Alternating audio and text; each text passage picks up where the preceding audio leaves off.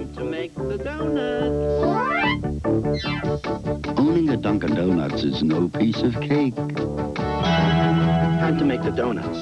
because you work night and day making donuts. That's why they're so fresh all the time.